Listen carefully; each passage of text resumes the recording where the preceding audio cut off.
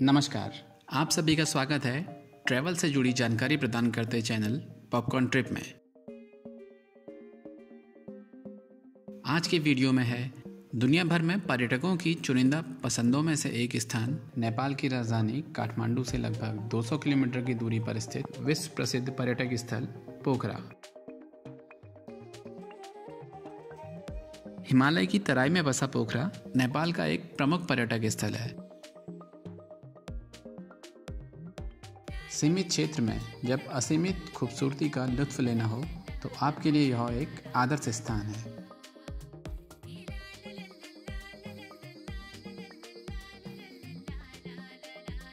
इस वीडियो में आप जानेंगे, पोखरा क्यों है इतना खास? यहाँ के आकर्षण। आने का अच्छा समय। कैसे यहाँ पहुँचें?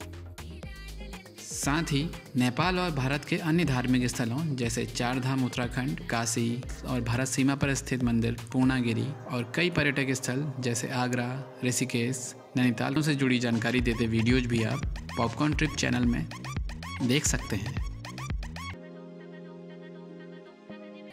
पोखरा, यहाँ खूबसूरत झील हैं, गुफाएँ हैं, हिमालय की विशाल श्रृंखलाएँ यहाँ से आपको नज़र आती हैं। कई ऐतिहासिक मंदिर यहाँ स्थित हैं।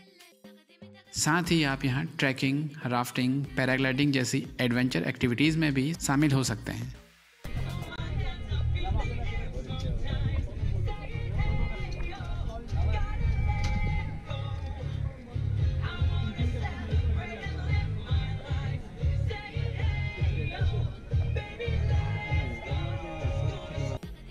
फ्यूबा झील, महेंद्र गुफा, वाराही मंदिर डेविस फॉल गुप्तेश्वर गुफा पोखरा म्यूज़ियम विंध्यवासिनी मंदिर इंटरनेशनल माउंटेन म्यूज़ियम इसके अलावा पुराना बाज़ार सारंगकोट शांति स्तूप अन्नपूर्णा तितली संग्रहालय पोखरा पोखरा के कुछ आकर्षण हैं स्क्रीन में आप देख रहे हैं पोखरा में की जा सकने वाली एक्टिविटीज़ और यहाँ के आकर्षणों की सूची पोखरा के आकर्षणों में से एक है फ्यूबा झील लगभग डेढ़ किलोमीटर लंबी यह झील नेपाल की दूसरी सबसे बड़ी झील है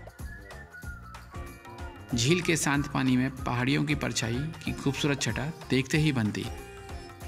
झील की सुंदरता का आनंद उठाने के साथ साथ खाने का मज़ा भी यहाँ लिया जा सकता है। यहाँ पर बोटिंग का एक अपना ही आनंद है। अब जानते हैं best time to visit Pokhara Nepal. Pokhara जाने का सबसे अच्छा समय सितंबर से नवंबर और फिर मई की शुरुआत में है।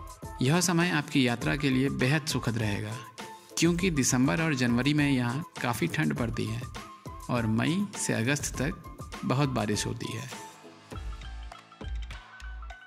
अब जानते हैं पोखरा कैसे पहुँचे। यदि आप काठमांडू से पोखरा आ रहे हैं तो आप पर्यटक बस या टैक्सी ले सकते हैं, जो नियमित अंतराल पर आपको काठमांडू से यहाँ के लिए मिल जाती हैं। पोखरा के लिए टैक्सीज आसपास के शहरों और भारत से भी उपलब्ध हैं। नेपाल में फ़िलहाल रेलवे सेवा उपलब्ध नहीं है। इसके अलावा आप काठमांडू एयरपोर्ट से भी पोखरा एयरपोर्ट तक फ़्लाइट ले सकते हैं। बस से अगर आप भारत से पोखरा आना चाहते हैं तो आपको गोरखपुर या फिर वाराणसी से बस मिल जाएँगी, जो आपको काठमांडू तक ले जाएँगी। इसके बाद आपको काठमांडू से पोखरा के लिए बसें बहुत आसानी से मिल जाएँगी, जो लगभग सात घंटे का समय लेंगी। यहाँ पर आप किसी भी ट्रैवल एजेंट की मदद से भी बस बुक कर सकते हैं।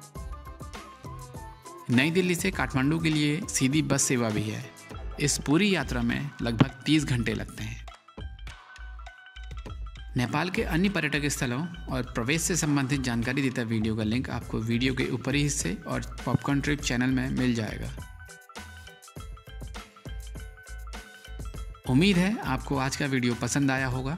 ऐसे ही ट्रैवल से जुड़े वीडियोस देखने के लिए पॉपकॉर्न ट्रिप चैनल सब्सक्राइब करने के साथ साथ बेल आइकॉन में क्लिक कर ऑल ऑप्शन में भी क्लिक कर लें, जिससे इस चैनल में आने वाली किसी भी वीडियो का नोटिफिकेशन को आप मिस ना करें।